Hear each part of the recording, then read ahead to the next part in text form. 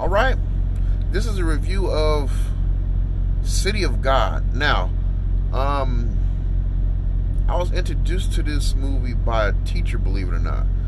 It was so many years ago, I can't remember what his reasoning was for showing on this, showing us this movie. I mean, it wasn't purely based on action. I don't think uh, it wasn't high school. The movie is quite violent. um,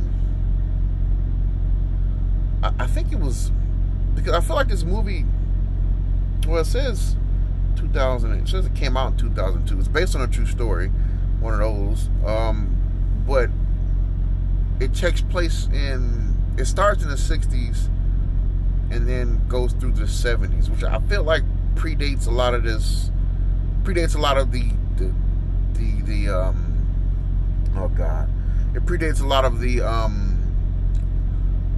Uh, glorified gangster stuff that's portrayed in American hip hop and, and, and American movies. I feel like, I mean, there was always an element of of of gangster in in uh in impoverished areas, but I I don't know. It's funny that simultaneously, you know, two different places in the world, this side and that side, basically the same things happening in areas that are lacking that are lacking funds and education really. Um, first I have to try and get out all of the characters because they all have uh, well most of them have uh, memorable nicknames. So you know there's there's Rocket or Buscapé because the movie's in Portuguese. That's the only one I remember is Buscapé, but and then there's Carrot, and then there's Benny. I'm looking at the names right here. Shorty, which he he's uh he's a rat. I get to his character because he he um he comes up early on in the movie, and then got a little dice or a little dicey. And then got Angelica. Well, Angelica plays a short part as well. So it, it starts off. Um, it starts off. What is that on my forehead? What is that on my forehead? It's like a line on the center of my forehead. I don't like that.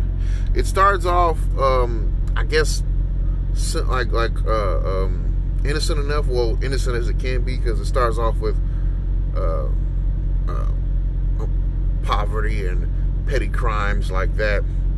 Um, it starts off uh, telling the story of Rocket, Rocket's uh, older brother and his two friends who are basically committing like uh, robberies and things like that, not really doing too much. And, and of course, it, it, shines a light on uh, a slum called City of God that that was made in uh, uh they speak Portuguese or Brazil. Um, the earlier the that's interesting. The, the the earlier part of the movie that takes place in in the '60s really doesn't highlight the the uh, the variety of tones or, or, skin tones that are that are prevalent in, in, in, Brazil. I mean, I don't think it was it was made that big of a deal. Um, all the characters seem to be a little bit lighter and darker, but well, lighter and dark, lighter of them. You know what I mean, like mahogany and and hickory and not hickory, mahogany and and, and brown sugar colors and things of that nature. Um, caramel even. Um, nothing nothing like white bread or or or, or eggshell or something like that. It, it's funny to compare human beings to colors, but just for point of reference.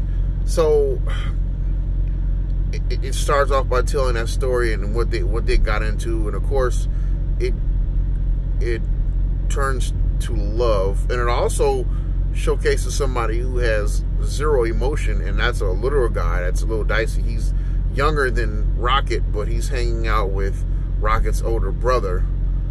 Because, oh, oh man, to try to explain this movie is so hard because there's so many elements that I think that that just run over in so many different communities.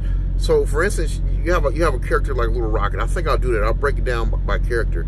So I know I'm, i was talking about how um, the movie starts off by explaining um, what the the three the three bad, the three baddest guys in the neighborhood, basically, or that slum, particular slum war, were getting into during that time. You know, small robbery, and then eventually they, they moved to something more serious. They robbed a, a bigger establishment, a hotel.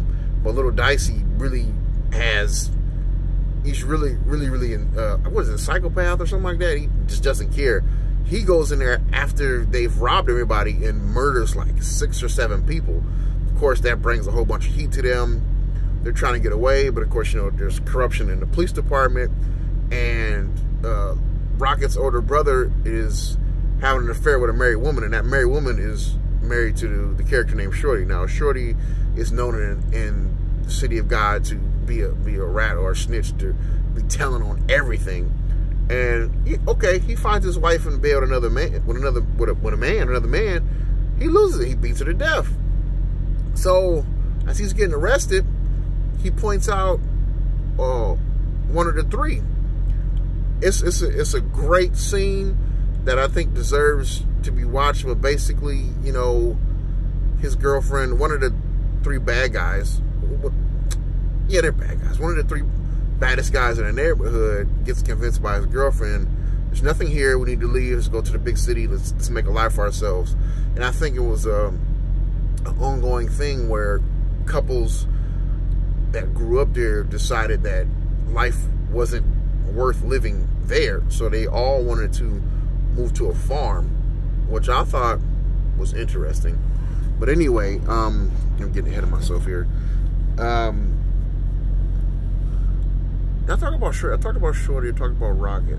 So that, that basically ends the the the early years. Um, all three of those guys.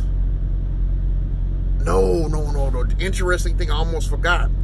One of the three uh, it's just a common thread. He winds up after this after this life of a gangster and a bad boy, he turns to God, believe it or not. And on his way to the church, he's like rolled his ankle, he's been shot or something. On his way to his church, the police pass right by him and, and target someone else for the crimes. And he, he winds up giving his life to, to God. Uh, Rocket's older brother winds up getting shot by a little little dicey or, or little whatever, the, the little crazy dude, um, that that'll come back into the story into play later on in the story. And the third one gets he gets killed trying to flee City of God after Shorty has pointed him out.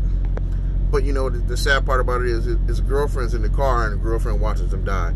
That's I'm, I'm not doing it justice, but that that's it. So you go further into the story now it's it's the story's basically following Rocket throughout his life, and you know, little Dicey's grown up, and, and now he's he's taken over control of all the drug trade in in uh in City of God, so he's basically the man. But there's another guy on the other side of town whose name is Carrot, and these two guys, they, they, they, of course, there's like, why wouldn't why wouldn't little little Dicey take over the little Zez or little Z or something like that. I'm really bad with it, but I just call him Z. Why wouldn't Z take over Carrot's operation? Because of Benny. Benny is uh, uh, little Z or Z's best friend throughout the whole movie, and he's keeping peace with everybody and everything. And and goes on later on, you find out that he's uh, he's liked by every group, every person. Everybody likes him. So this is where Angelica comes into play. So and so Rocket and Angelica are the same age, and basically Rocket has a school school like a school schoolboy crush on her. He's been trying his hardest to get with her, but she had a boyfriend, and uh, she she breaks up with that boyfriend due to, to drug use, and then he's finally to get a, he finally got a chance to get with her, but Benny comes in. But Benny's such a likable guy; it's not that big a deal. But Angelica falls for for Benny and they decide to get, and she convinces him to leave the slums. But you know, little Z is to be left by himself. Not only is he lonely, but he doesn't know how to interact with other humans too well. So that leads to an issue. And of course, they have. Uh, I know I'm explaining too much of the movie, but they they wind up having. Uh, they wind up having uh, beef with. Uh, not beef. They wind up. Um, get into like a, a, a, a bit of an altercation in, in the midst of a, a takeover, but they decide to keep the guy alive, and the guy decides to come back and kill little little Z, but he misses little Z, hits Benny, and then that's the end of that. You know, that's the end of that whole. Because things were pretty mellow by then, but once that happened, then it's like basically full out war almost. Um, trying to see what else happens in there. Knockout Ned, that character doesn't come till later on in the movie, but I don't want to talk about this movie without pinpointing so many things that I think have to be pinpointed. There's one. There is the the segregation or, or, separation purely based on someone's skin color because there's a such a wide range or such a wide mix of different um, uh, skin tones in this place, but they all speak the same language, and doesn't necessarily mean that because you're lighter skinned you're going to be better off. You're basically born into that life of poverty, and this showcases that very well. And it also showcases um, how tragic and how beautiful life could be, but you know, and you also see the ages of these kids and how easily these lives are just taken away. You're looking at that as well. Um, Knockout Ned comes into play because of Z's desire, to, like every every person, every male's heterosexual male's desire to be with a woman, but he can't talk to him, so he winds up winds up being a brute and an animal and taking uh, taking the flower of uh, little Ned's girlfriend, and little Ned's pretty much like you know he, he's lost at this point, and he was in the military before. There's so many different connections that happen in this movie that I'm leaving out. I know I'm trying to do my best because this is such a such a good movie. It's such a good movie. Um, I think what else happened today. What else can I talk about? So yeah, talk about Little Ned. I mean, Knockout Ned. I'm, I'm sorry. So Knockout Ned, uh, basically, he's sitting there, doesn't know what to do. Um, Z didn't kill him initially, but then, you know, he thinks about like, why did I kill him? And then, you know, at the same time he's saying that, uh, Ned's saying, why didn't he kill me? You know, different parts. But then they meet back up again. Uh, on Ned's little brother goes outside to try to talk him out of it, but then he's like, no, no, I'll go call him. He turns around, pokes him with a knife, but you know, he only hits him in the arm. They shoot him till he catches on fire. I've heard that phrase before. They shoot him like a lot of times. Then shoot the house up, killing his uncle as well, knock on his uncle, and then basically, um, they're already there's already a, a, war brewing or going on between Carrot and and Z. Now, Knockout Ned joins Carrot's crew, and they take over. They do a they do a robbery of a gun store and a bank um, which will come into play later on because in the robbery of bank, Knockout Ned kills a security guard, and that guy's kid, of course, wants revenge. You see that come later on in, in the movie. Um, I'm not eloquent enough to explain all the all the great aspects of this movie. Okay, I'm just going to give you an overview, and I hope you go watch it. it. It's in Portuguese, but it has subtitles. I'll tell you that. Portuguese is a is a pretty interesting language. Takes a little bit getting used to. There are some words that sound similar to Spanish, but it's not not similar at all at the same time. Um, overall, it's a great movie. You, you know, just all the characters in there. Oh, and also there's um, I remember there's a documentary, uh, City of God, ten years later that takes a look at the actors and the paths that they chose in real life after the movie. Now, I think only one of the actors, the the young lady who played Angelica, I think she went on to actually come to Hollywood and play in some uh, bigger movies, I'd say. But that's it. It's a great movie. It deserves a watch. And they, and they spice in real pictures of the characters at the end of the movie. And you follow uh, Bruce he's always wanted to be a photographer. He gets to get that dream because of his connection to these individuals inside the uh, inside the slum. He gets to take exclusive pictures, so that gets him a job basically, and you get to see how it unfolds more and more. There's there's such a a big message, just such a big booming message that comes from uh, a movie like this. It puts out there, to me, in my eyes, it, it showcases the fact that education is key, and just having the common decency to raise individuals out of poverty. It's the government's uh, uh, responsibility to do that now, but you can eliminate that one by just helping with education because if a person is educated, I feel like they have a 900 times more better chance of making it in life. That's just me.